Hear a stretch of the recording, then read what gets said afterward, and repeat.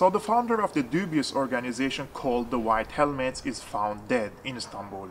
Initial reports claim that James Le Mesurier, a former British Army officer, fell from the balcony.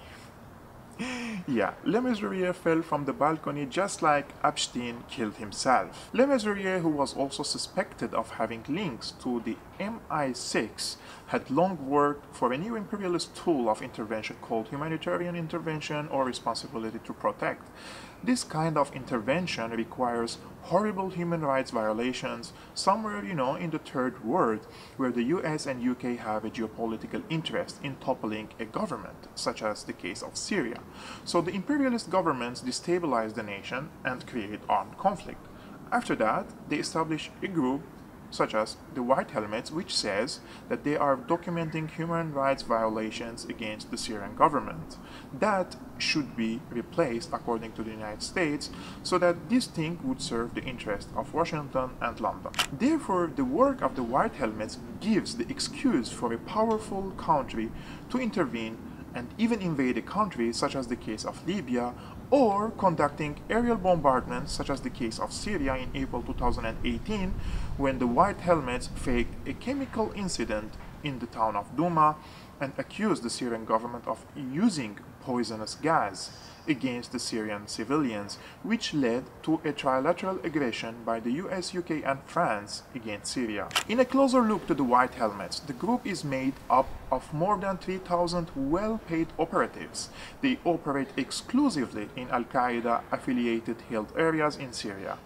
After liberating most militant held areas by the Syrian army, the White Helmets continue to operate in Idlib, the largest safe haven for Al-Qaeda in the world. Ironically though, although the White Helmets is funded by tens of millions of dollars per year by several Western governments, the White Helmets' biggest loyalty lies with Turkey and this has become crystal clear after Erdogan's invasion of northern Syria where the White Helmets accompany the Turkish-backed Islamist militants against the Kurdish militias. On an international level, James Le Mesurier was spotted several times in hotspots around the world, including the Balkans and the Middle East, which indicates that this guy was not simply a humanitarian employee trying to establish democracies around the world.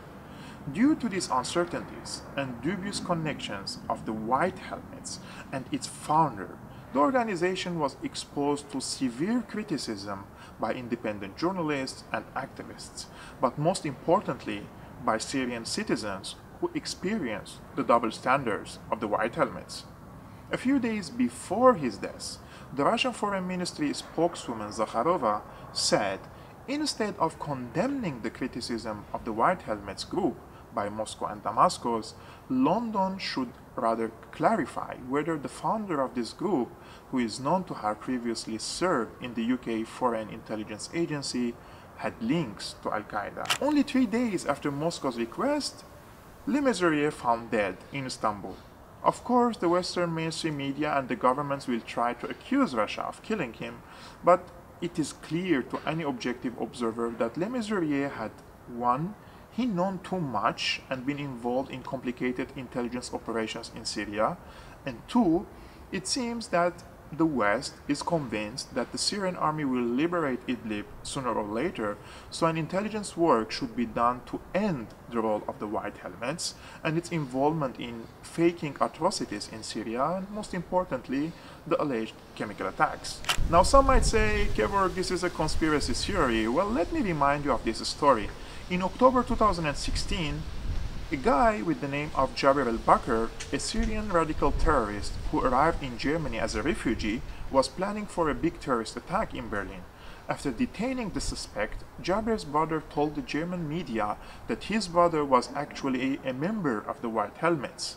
Now, what happened to Jabir in custody? Uh, he committed suicide. Yeah, just like Epstein committed suicide and just like Le Mesurier fell from the balcony. Anyways, Le Mesurier had an enormous impact on the outcome of the Syrian war through his suspicious work with the murderous White Helmets, who acted as a propaganda wing for Al-Qaeda in Syria. And I'm not shedding any tears for him. Syriana Analysis is an independent news and analysis platform. Please don't hesitate to support the channel through Patreon, an online sponsorship platform that enables me to create more content to you. Link in the description below.